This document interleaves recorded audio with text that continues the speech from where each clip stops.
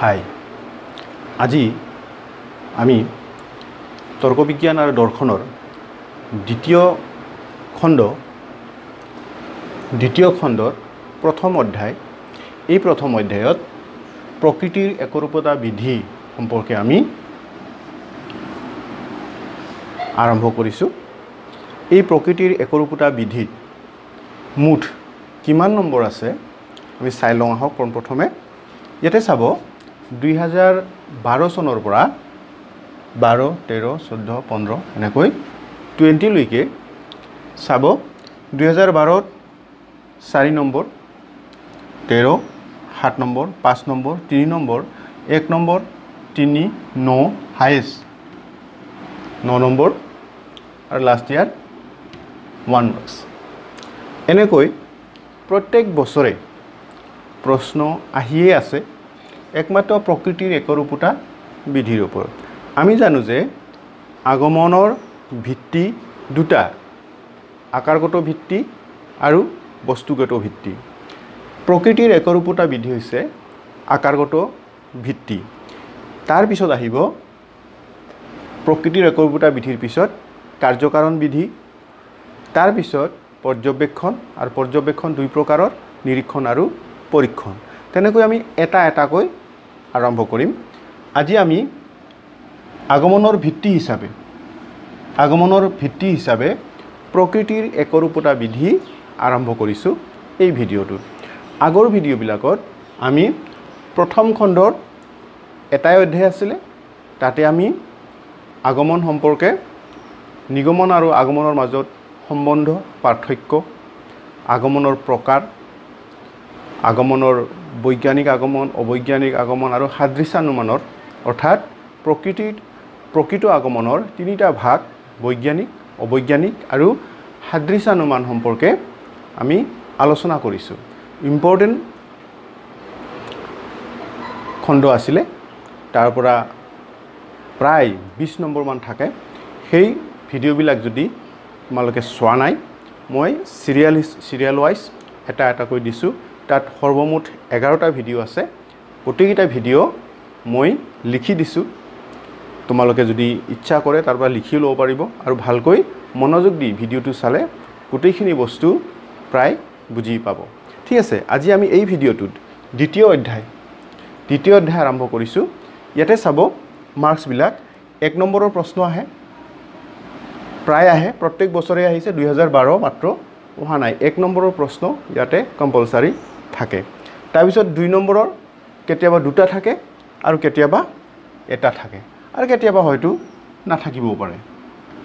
কিন্তু আমি নাথাকিব বুলি ধৰি নল'ম সৰু বিষয়বস্তু প্ৰকৃতিৰ একৰপৰা বিধি অলপহে আছে। এইখিনি ভালকৈ পঢ়ি ল'লে যিকোনো প্ৰশ্ন আহিলে এক নম্বৰৰে আহক দুই নম্বৰৰে আহক অথবা এইটোৰ নিচিনাকৈ ছয় নম্বৰৰে আহক একো অসুবিধা নহ'ব। ইয়াৰ পিছত আমি প্ৰকৃতিৰ একৰপোটা বিধি এই অধ্যায়ত কি কি বিষয়বস্তু আছে আমি চাই লওঁ। ইয়াতে প্ৰকৃতিৰ একৰপোটা বিধি যিটো আছে ইয়াতে চাব আগমনৰ ভিত্তি হিচাপে প্ৰকৃতিৰ একৰপোটা বিধি আলোচনা কৰা হ'ব এটা বিষয়বস্তু। তাৰপিছত আগমনৰ আকাৰগত আৰু বস্তুগত ভিত্তি কি? আগমনৰ আকাৰগত বস্তু আকাৰগত ভিত্তি আৰু বস্তুগত বৃদ্ধিনো কি? সেই সম্পৰ্কে আলোচনা হ'ব। তাৰপিছত প্ৰকৃতিৰ একৰূপতা বিধি আৰু কাৰ্যকাৰণ বিধি এই দুটা বস্তু এই দুটা আগমনৰ আকাৰগত ভিত্তি এই বিষয়ে আকৌ আলোচনা হ'ব। তাৰপিছত প্ৰকৃতিৰ একৰূপতা বিধি সম্পৰ্কে বেলেগকৈ আলোচনা হ'ব।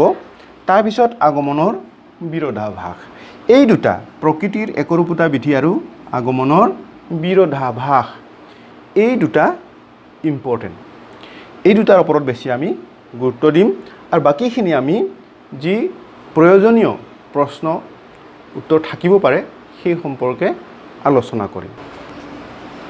আগমনৰ আকাৰগত ভিত্তি যেতিয়া চাব যে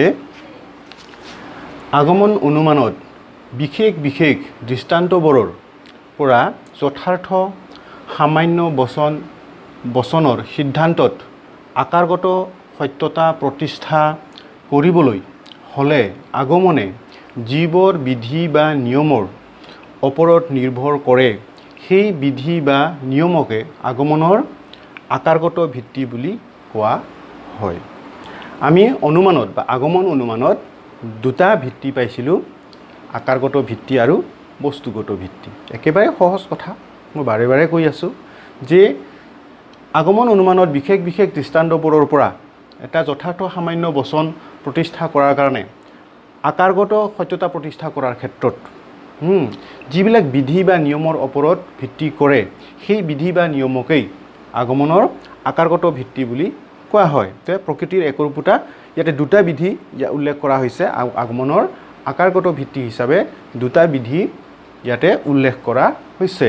সেইটো হ'ল প্ৰকৃতিৰ একৰূপতা বিধি আৰু কাৰ্যকাৰণ বিধি। একদম মনত ৰাখিব ভালকৈ যে আগমনৰ ভিত্তি দুটা এটা হ'ল আকাৰগত ভিত্তি আৰু আনটো হ'ল বস্তুগত ভিত্তি। ইয়াতে আমি আকাৰগত ভিত্তি হিচাপে প্ৰকৃতিৰ একৰূপতা বিধি আমি আলোচনা কৰিম।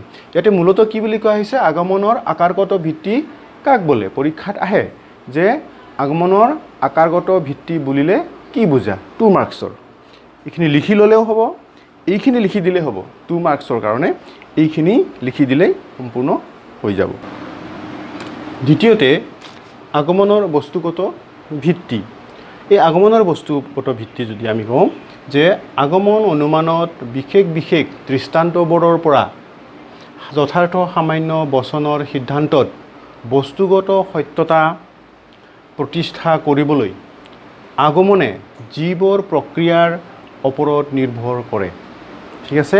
বস্তুগত সত্যতা প্ৰতিষ্ঠা কৰাৰ ক্ষেত্ৰত নিৰ্ভৰ কৰে তাকেই আগমনৰ বস্তুগত ভিত্তি বুলি কোৱা হয়।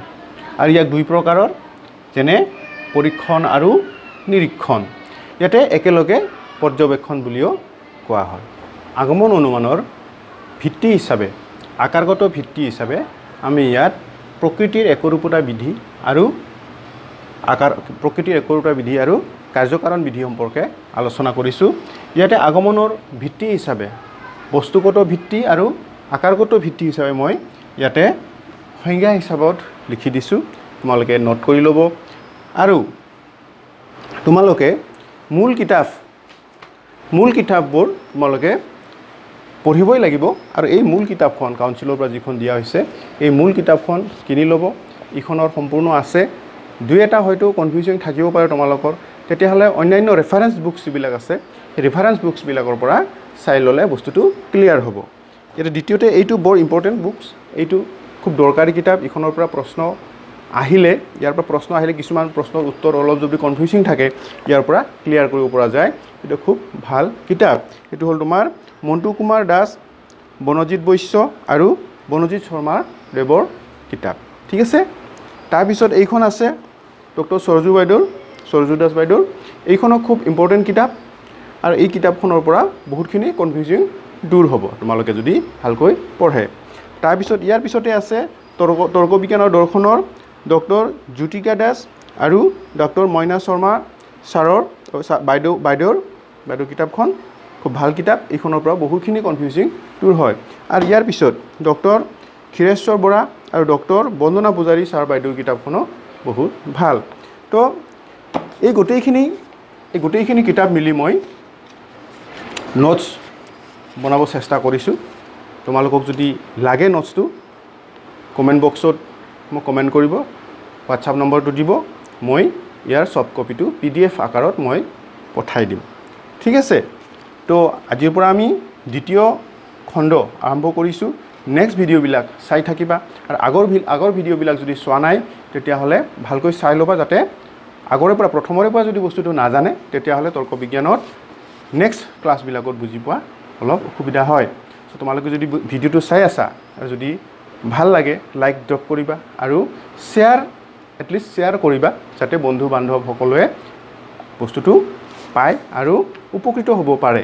আৰু ছাবস্ক্ৰাইব কৰি ল'ব আৰু যদি নতুনকৈ চাই আছা ছাবস্ক্ৰাইব কৰি ল'ব।